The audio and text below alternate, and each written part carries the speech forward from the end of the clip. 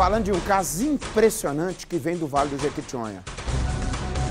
Ah, quarta-feira, a gente chega na redação. Como é que vai ser o jornal? Como é que tá? Mais leve? Tá leve. Leve? Foi apreendido em Itaubim, quando fala apreendido, você já sabe, né? Um adolescente suspeito de ter cometido ato infracional análogo ao homicídio. De acordo com a Polícia Militar, o detido confessou ter atacado a vítima com quase 50 facadas, cinco tiros, além de pauladas. O Antônio Peço vai contar isso aqui, pode balançar. Nicomedes, a Polícia Militar de Itaubim apreendeu um adolescente de 17 anos sob suspeita de participação dele num crime de homicídio na cidade. Vamos ao histórico dessa ocorrência. Agora, Nicomedes, preste bem atenção. Tudo começou no final de semana, quando o cidadão estava na casa dele e, segundo informações, alguém o chamou na porta da casa para conversar. Eles fizeram uso de substância entorpecente, é uma suspeita, e aí o cidadão foi assassinado por disparo de arma de fogo, um instrumento contundente, pancadas, possivelmente de pau, e perfurações por uma arma branca, possivelmente uma faca. A Polícia Militar identificou na segunda-feira os suspeitos, conseguiu ontem localizar o primeiro envolvido. É um adolescente de 17 anos que foi apreendido preenchendo todo o protocolo necessário, com acompanhamento de um responsável, as autoridades, foi levado para a delegacia e aí, Nicomedes, vem o detalhe.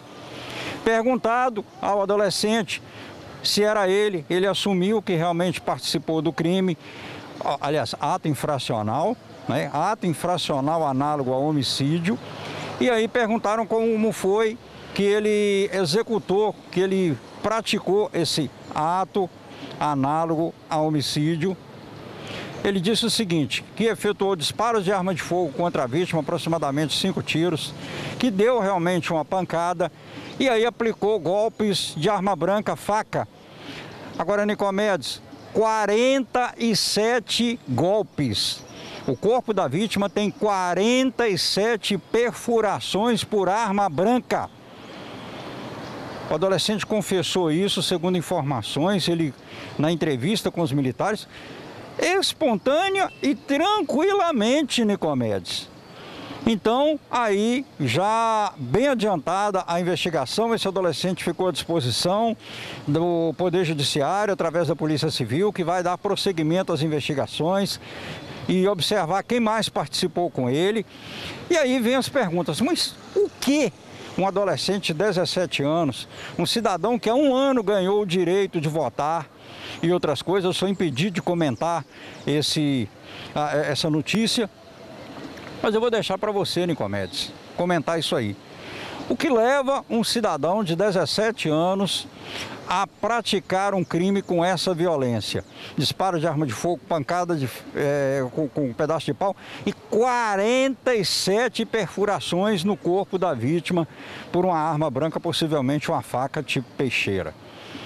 O cidadão vai ficar à disposição da justiça, a Polícia Civil vai investigar e esse Nicomedes possivelmente é o crime mais violento, mais cruel, com requintes de crueldade praticado em cidades do Nordeste Mineiro esse ano. Fantoni Peço para o balanço geral. É, Fantoni, se for buscar direitinho a estatística, talvez seja um dos crimes mais bárbaros da história, né? Da história, 47 facadas além dos disparos e também da, do uso de, de pau, né? É, aí o Fantoni pede para eu comentar o que leva um adolescente de 17 anos a fazer isso, né? Normalmente o adolescente, ele está pensando como é que vai ser a carreira profissional, como é que vai concluir os estudos. É, essa idade é para isso, né? Com 16 anos eu já trabalhava, já estava finalizando aí segundo grau. É, a gente supõe que seja isso. Aí o que leva um adolescente de 17 anos a cometer uma barbárie dessa é muita revolta no coração, né? É, aí tem suspeita, a polícia trabalha com a linha de investigação de que esse homem que foi vítima é, desse crime é, é, estaria, o nome estaria é, supostamente é, relacionado a uma ocorrência de abuso sexual na família. Aí, mas ainda que seja confirmado isso, ninguém pode praticar justiça própria, né? Chamada na lei de autotutela, né? É, a lei de talião olho por olho e dente por dente, ela já não vigora mais, né? Hoje tem um ordenamento jurídico, tem um aparato do Estado para tomar conta disso.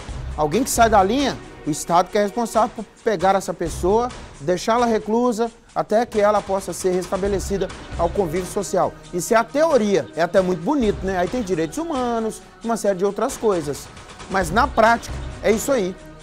É um adolescente que deveria estar conferindo o gabarito de Enem, pegando aí a, a, a comemoração de, de uma aprovação com a boa redação, ingressando na universidade, seja para fazer qual curso.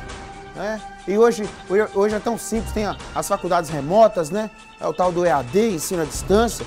Mas não, 17 anos está aí, respondendo ao ato infracional parecido com um crime de homicídio. E aí já fica com a ficha suja, depois vai ter que ser internado. É, não tem o que falar muito não, viu, Fantônio? Senão fica parecendo discurso, é, sei lá, de oportunismo, não é o meu caso, né?